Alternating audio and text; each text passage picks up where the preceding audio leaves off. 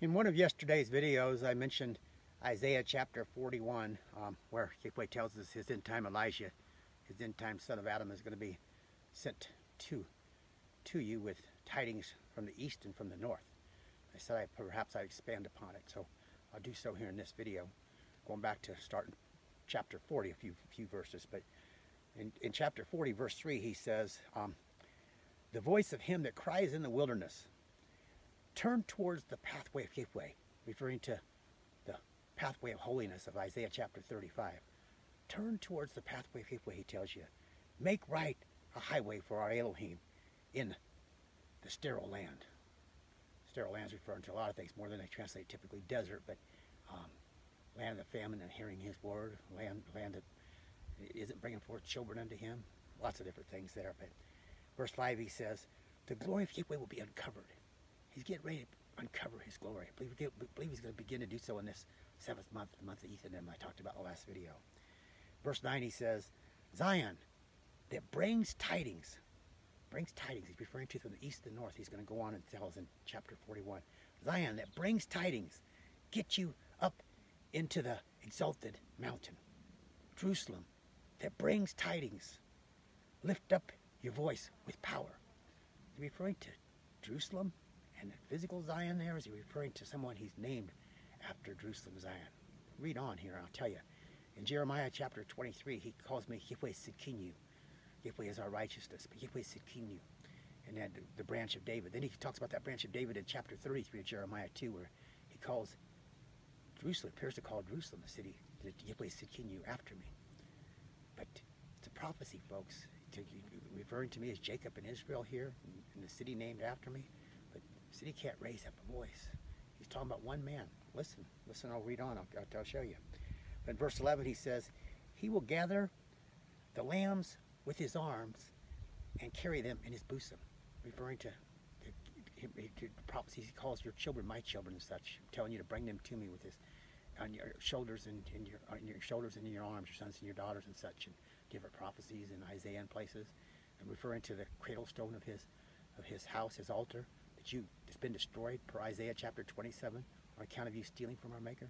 But amazing, amazing. And in verse 29 it says, He, he, he before Yahweh, will give power to the faint.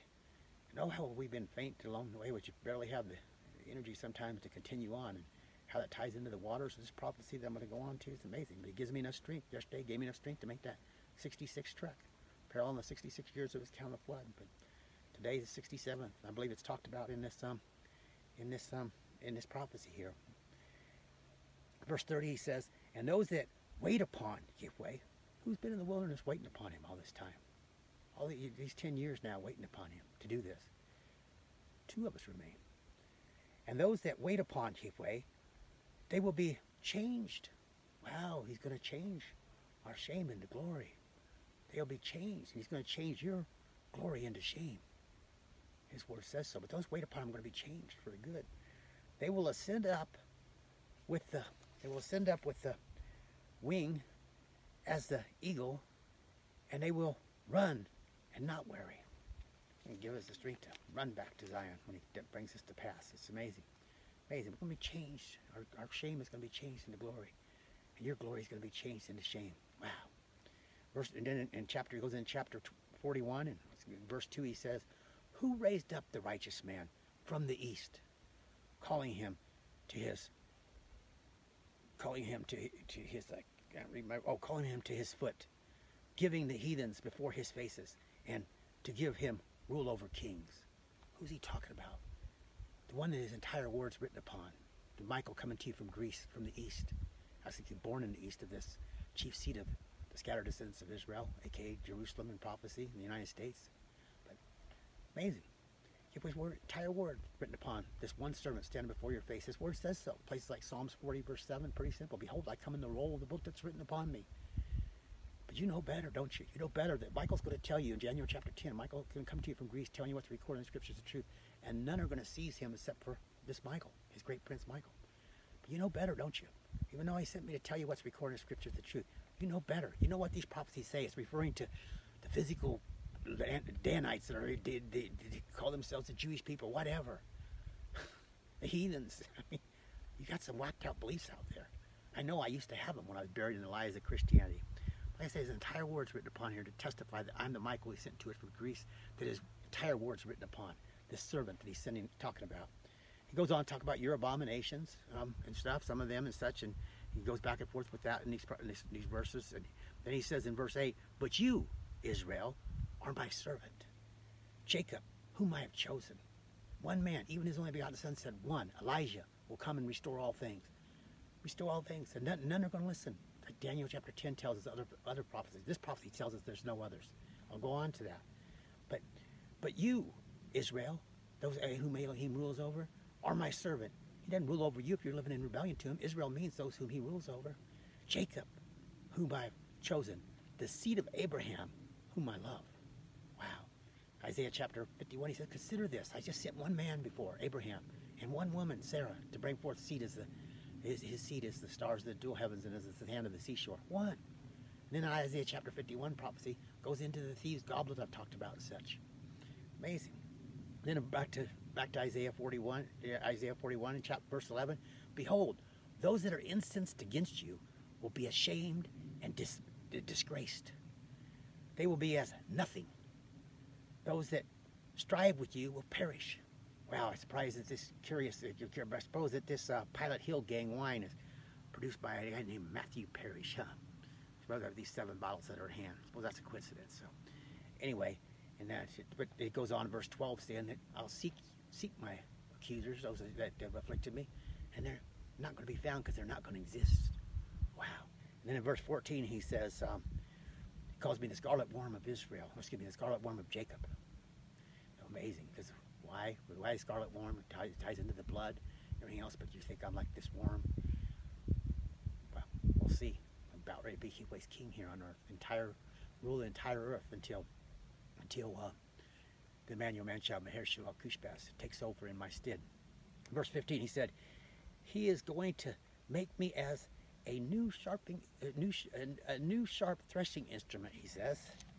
A new sharp threshing instrument that's going to thresh, that's going to thresh the mountains and make them like chaff that's going to be carried away in the whirlwind and such. Wow, wind, his spirit's amazing.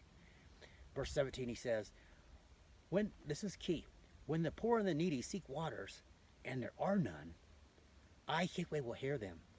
I, the Elohim of Israel, will not forsake them. Wow, today's trek number 67. I'll finish completing those 50 gallons of the living waters. Waters, wine, turning his unbegotten son, shed blood through his magnification of his statutes.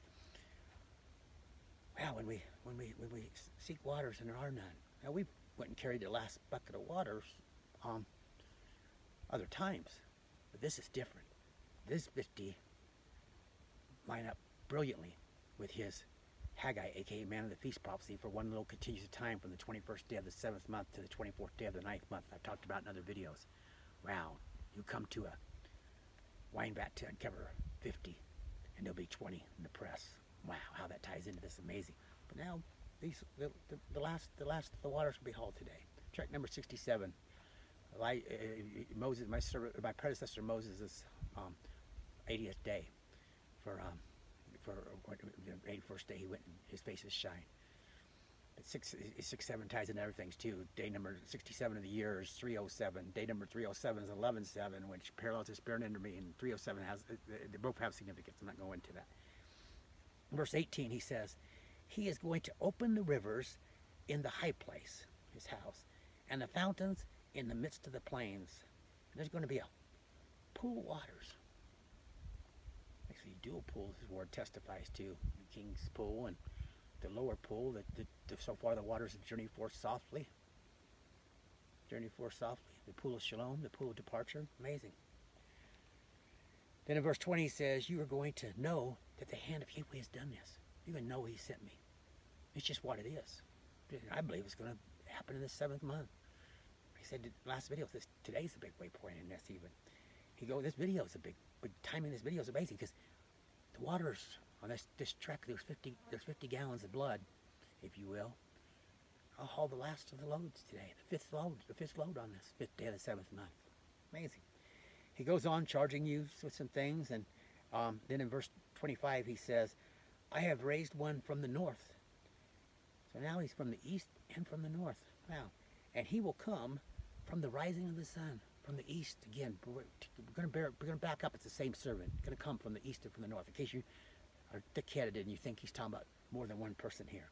I have raised up one from the north, and he will come through, from the rising of the sun, east, calling upon my name, calling upon my name, and he will, and he will come upon rulers as mortar and as as, as the potter, as the potter treads clay. Wow, wow, from the north. Talked about yesterday. My, my last name Nordhook even means North Country, but he also brought me to he brought me to Montana to come to you from the Greece. He brought me from the north of this Elohim forsaking man, from Montana, from the north of it. The north of this country went to Greece to the east. Of course, so if you think my name is just a coincidence, well, you can't think that's a coincidence, can you? But the rest of his word testifies on this servant anyway. Another man could come to you from the north and the east, but how this ties into 9-11 and those four planes coming from the north and the east of this Elohim forsaking land, and even 6,911 days later being today is amazing. Talked about that in the last video, but how it lines up, I'm sure too, I'm sure it lines up with 411, Operation Grapes of Wrath too, but I, I haven't looked at that. So, verse 27, he says, The first to Zion, behold, behold them, behold, behold them, and I will give Jerusalem to one that brings tidings. This one, talk about this one. You can't be that thick-headed to think that's referring to you or anybody else. One that brings tidings. Amazing. Hmm. Tidings from the north, tidings from the east. Amazing. The owners of the the owners of the property to the west of Zion, the corporation called Tidings from the East. Coincidence. Coincidence, huh? anyway, I, am not a corporation. I think it's LLC. I'm sorry. But um, then in verses 28 and 29, he said, There are no others. There are no others. Just this one. He's looked, but he hasn't found any. Just this one. So you think you're one of his? Whatever. He said, Going to be one. Like I said, his only begotten son said there's going to be one. And then he goes into chapter um, 42 where he says, Behold, my servant, my chosen. Oh, I guess that's you, huh? You're his chosen. No, it can only be one. There can be only one. It's just what it is. It's just what it is. Folks, this is not complicated. The reason that you complicate it is because you're risen up above the testimony of his word. You can't see that you're in your drunken stupor, drunk off your wine or your fornication to him. You can't see that he has closed your dual eyes so that seeing you see, but you can't see, you can't perceive, and hearing you hear, but you can't understand. You can't get it. You just don't get it because you're just that full of pride and arrogance that you just you just leave the binders on. The strange works that Gateway by Elohim has sent me with for these past 10 years to accomplish are amazing. And they testify to all of this. They testify to all of it. He calls it in Isaiah chapter 28 the strange work. Why don't you believe him? His diadem is standing before your faces. Because you're full of pride and arrogance. You know better than the testimony of his word. I have some bad news for you. That ain't going to work out very well for you.